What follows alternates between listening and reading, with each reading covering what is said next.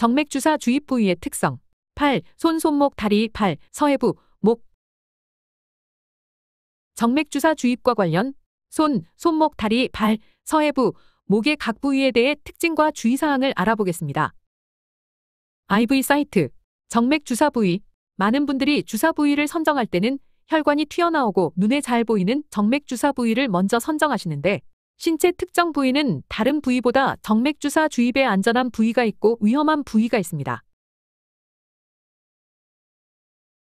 일반적으로 정맥 주사 가능한 부위는 다음과 같은 순서로 선정합니다.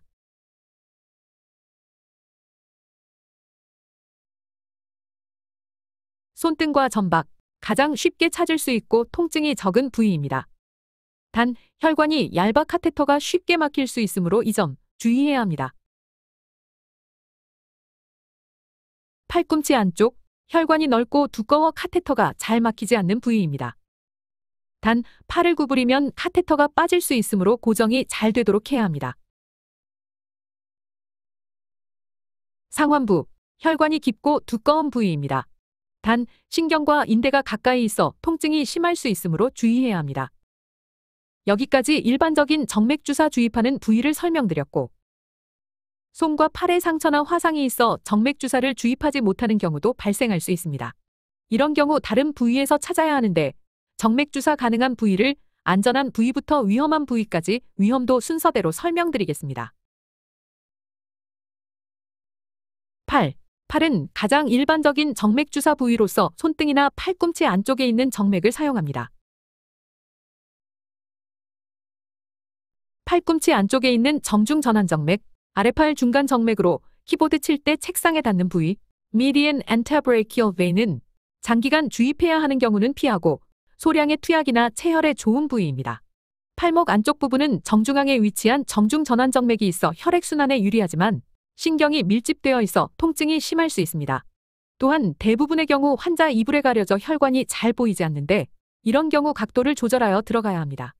또한 주사를 놓을 때는 테이프로 고정하여 떨어지지 않도록 해야 합니다. 손, 손목, 손등이나 손바닥에 있는 정맥을 사용합니다. 손바닥은 통증이 심하고 쉽게 파열될 수 있으므로 가능한 피해야 합니다. 손목에서 세 손가락 이내 부위는 손목 신경통의 원인이 되는 캐널 증후군 등의 신경 손상을 유발할 수 있으므로 정맥 주사에 사용하는 것을 피해야 합니다. 이 부위는 신경과 혈관이 매우 밀접하게 위치해 있기 때문에 정확한 위치와 기술이 필요하며 전문가의 조언을 받고 시행하는 것이 좋습니다. 다리. 다리에 있는 정맥을 사용합니다. 다리는 혈액순환의 흐름이 둔화되는 부위로 정맥류나 고혈압 등의 질환을 앓고 있는 경우에는 정맥 주사를 시행하지 않는 것이 좋습니다. 특히 다리나 발에 정맥 주사를 하면 혈전이 생길 가능성이 있으므로 가능한 피하는 것이 좋습니다. 또한 다리는 움직임이 많아서 침이 빠지거나 혈관이 파열될 수 있기 때문에 주사 시 꼭 안정적인 자세를 유지하고 니들의 각도를 낮추는 등의 주의가 필요합니다. 정확한 위치와 기술을 통해 시행하는 것이 좋습니다.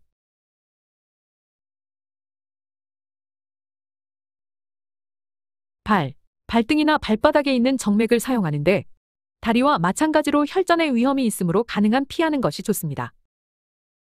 특히 발바닥은 쉽게 파열될 수 있고 민감한 부위이기 때문에 가능한 사용을 피하는 것이 좋습니다. 따라서 발등 부분에 있는 정맥을 사용하는 것이 바람직합니다. 서해부, 이 부위는 혈관이 상대적으로 뚜렷하지 않기 때문에 정확한 위치 파악과 기술이 필요합니다. 또한 심장이나 폐에 문제가 생길 수 있으므로 전문적인 지식과 경험이 필요합니다. 목, 목 앞쪽에 있는 경부정맥을 사용합니다. 서해부나 목에 있는 정맥은 혈액이 심장이나 폐로 직접 흐르기 때문에 혈전이나 공기가 혈관에 들어갈 경우 심각한 문제가 발생할 수 있습니다. 혈전이 떨어져서 폐로 이동하면 호흡곤란이나 가슴 통증 등의 증상이 나타날 수 있으며 공기가 혈관에 들어갈 경우 심한 경우 사망에 이를 수도 있습니다. 따라서 이러한 부위를 사용할 경우 전문적인 지식과 기술이 필요하며 안전한 절차를 따라야 합니다. 서해부와 마찬가지로 큰 중요한 기관들과 가까이 있어 니들을 넣거나 빼는 과정에서 상처를 입힐 수 있기에 전문적인 지식과 기술이 필요하며 주의해서 시행해야 합니다. 경부에 이상이 있는 환자는 다른 부위를 선택하는 것이 좋습니다. 정맥 주사를 피해야 하는 부위에 대해 설명드리겠습니다. 굴절 부위. 예를 들어 주정중피정맥, 혈액 순환에 방해가 될 수 있으므로 장기간 주입 시 피하고 소량의 투약이나 체혈에만 사용합니다. 경화된 혈관.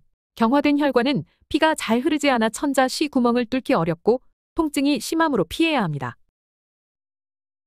최근 사용 후 합병증이 생긴 혈관, 감염 등의 위험이 있으므로 삽입 시 멍이 들거나 침윤, infiltration, 정맥염, phlebitis 증상이 나타날 수 있습니다. 손목 안쪽 부위 요골신경이 지나가는데 이 신경은 손가락과 손바닥의 감각을 담당하는 중요한 신경입니다. 정맥 주사 시 이 신경을 손상시킬 수 있으므로 피해야 합니다.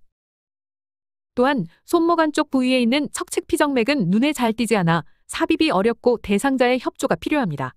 따라서 손목 안쪽 부위는 정맥 주사 시 적합하지 않습니다. 유방절제술을 받은 쪽에 있는 혈관, 림프 부종 등의 위험이 있으므로 대상자가 유방암 치료 중이거나 수술을 받은 경우에는 수술받은 쪽 팔에 삽입하는 것을 피합니다. 동정맥루, 동맥, 정맥을 잇는 수술로 정맥으로 들어가야 하는 약물이 동맥으로 들어갈 수 있어서 주의해야 합니다. 약물 효과에 영향을 줄 수 있으므로 천자 전 반드시 환자와 의사와 상담하여 올바른 경로를 확인합니다. 이번 강의에서는 정맥 주사의 주입 부위에 대해 살펴봤습니다. 정확한 부위와 기술적인 요령을 알고 있다면 환자의 안전과 편안한 치료를 위해 더욱 신중하게 접근할 수 있을 것입니다. 감사합니다.